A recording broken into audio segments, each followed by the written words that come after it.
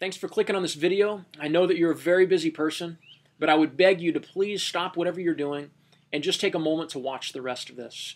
It's my heart's great desire to be able to get this message out as quickly and as clearly as possible. About a year and a half ago, we all witnessed the devastation of the Haiti earthquake taking place right in front of us on our TVs. I happened to be on the island when the earthquake took place, and I did not know at this time that this event in history would significantly change the path of my life forever. I had the opportunity to go into Haiti two different times within a few months after the earthquake shook the island. On my second trip into Haiti, we went to visit a gentleman by the name of Joseph. Joseph and his wife had began to care for about 200 kids immediately after the earthquake. Many of the parents in the area began to bring their kids to Joseph and his wife since they were not able to feed them and take care of them on their own. They had been receiving some of the food that was being transported into Haiti through Go Ministries, and we had simply come to verify the distribution of this food. I talked briefly with Joseph about their ministry and about the kids that they were taking care of, and thankfully, at this time, I was able to get his email address before I left. Over the last year and a half, I've stayed in touch with Joseph through email. Currently, Joseph still has about 20 of those kids who live with he and his wife full time. They also have three kids of their own, and his wife is seven months pregnant with their fourth child. They're all homeless, and everyone sleeps on the floor in a small little building with dirty cement floors with a tin roof. They wake up every day not knowing where their next meal is going to come from. I was blown away by their life of faith, and about four weeks ago, I feel like God was asking me to go back to Haiti and spend some time with him and his family and the orphans that live with him full time. All I can say is that this trip brought to fruition much of what God has been stirring in my heart and my wife's heart for the last year and a half.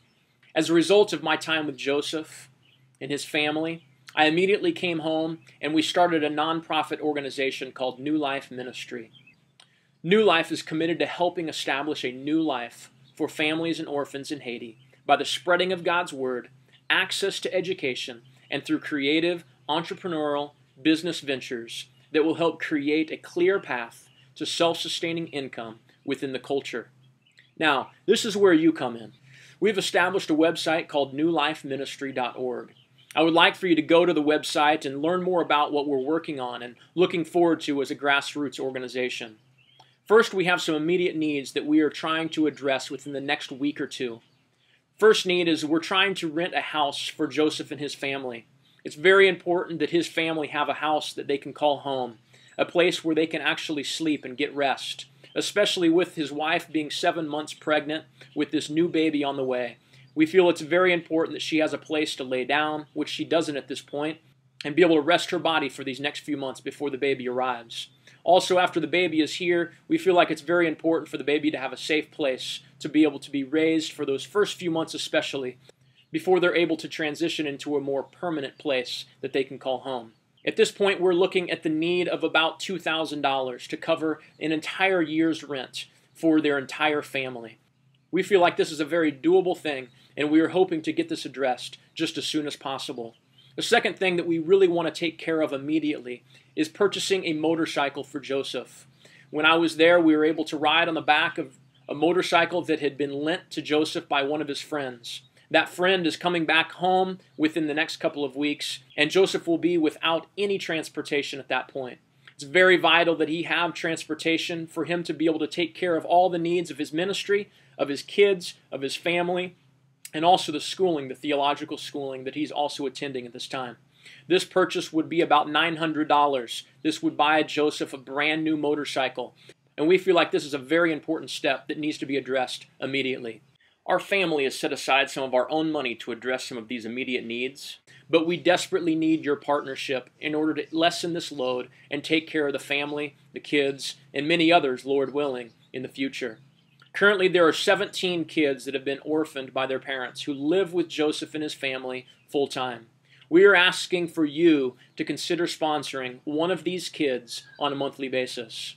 Or you may be more interested in helping to sponsor Joseph's family and their soon to be four kids. Either way, if we're able to partner together and get their family and the kids sponsored, we would have enough funds as an organization to take care of all of their needs provide meals seven days a week for each and every one of them, provide medical attention as needed, pay for schooling for all of the kids, and all the other necessary monthly needs that Joseph has as a pastor and leader in his community.